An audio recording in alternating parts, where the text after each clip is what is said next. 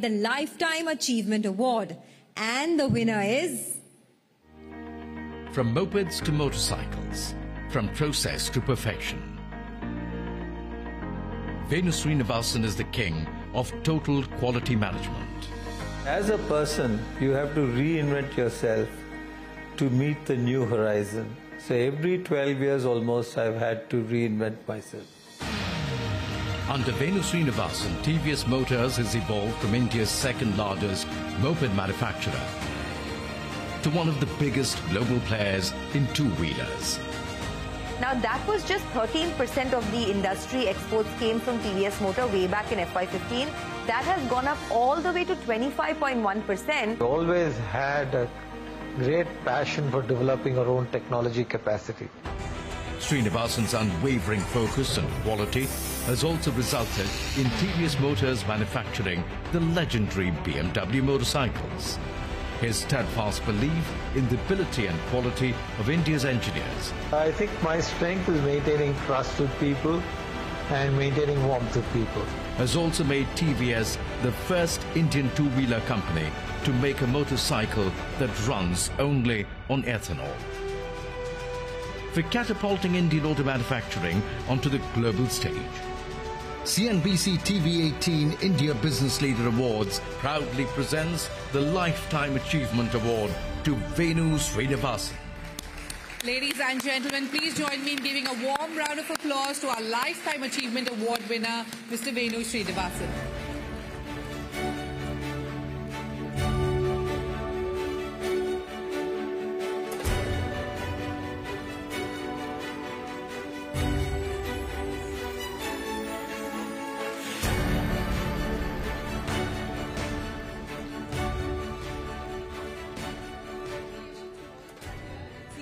CNBC TV 18. You, we just heard you saying that. we just th- thank you so much, Mr. Puri, for, for doing that. We just heard you saying in that audio visual that you reinvent yourself every 12 years. I don't know whether you're in the middle of a 12-year cycle at this point in time, or you're out of one, or you're about to start one. Uh, what what should we expect in terms of reinvention from Venu Srinivasan? Well, I think uh, I was thrown into the deep end because uh, tragically my father died when I was 26. And I was just a project manager in the moped project. 12 years where we had to build a quality organization which uh, believed in total quality, which means quality of everything that you do. Then the third phase came when we uh, broke up with Suzuki. We decided to part ways. Uh, each of us had global ambitions, and the best thing we thought we should uh, separate. And the final phase was really making it a global company. I think from 2010 to 2022, we have come a long way where almost 35% of our revenue comes from overseas business. And the next stage would be, as I said earlier when Parikshit asked me, was we have to go to Latin America, where we have very small footprint, a very small footprint in Southeast Asia. And ultimately, I think with Norton motorcycles and electric bicycles, go to North America and Europe as well. So that will be the next big thing, but not for me to do, but I've handed over the baton. So the next generation will have to do that. So, so, so what is the target that you've set for Sudarshan? 35% in terms of export contribution today. Where would you like to see that over the next five years, especially in the context of, uh, uh, of this big Make in India moment? I think we should never set financial targets for ourselves. I think we should set targets to be the most customer friendly company, a company where people really, customers believe in you, believe in your products and services. And it's by winning their minds and hearts that ultimately we'll build a large business. I think for, to focus on building a company that the world's advanced countries like Europe and North America will look for TVS and buy it. That would really what I would like TVS to be.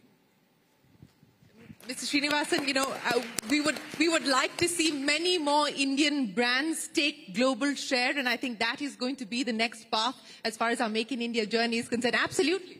I think uh, the greatest inspiration is our uh, Honorable Prime Minister putting Atma Nirbhar right up front and make Indians believe in themselves. You've seen the young people have done unbelievable work today, uh, from drones to space to rupee to, and I think that is the new India, and therefore, uh, really, we believe that India can stride on the global stage with confidence, pride, and dignity. Absolutely. And, and, and, that's what I want to end with. What is your message uh, to the Indian entrepreneur who's starting today, to the Indian SME who's trying to move up today, uh, to the uh, Indian entrepreneur who is trying to build scale and look outside as well. What is your message in light of the experiences that you've had, the mistakes that you've made, and the course correction perhaps that you've done? I would like to limit it to three points. One is self belief. I think without self belief, nothing can be achieved. The second is never say die. You cannot, even in the worst dark night, which seems endless, you have to keep faith and you have to persevere. And the last is believe in your people. It's people who build it. Today, if the award is given, it is given to the thousands of people who spent a lifetime in our company. It's not given to me.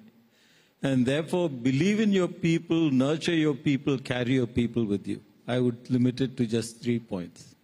Well, thank you very, very much, Mr. Venu Srinivasan. Ladies and gentlemen, a big round of applause for the Lifetime Achievement of the Year. Thank you very much. Appreciate you joining us here this evening for honoring the India Business Leader Awards.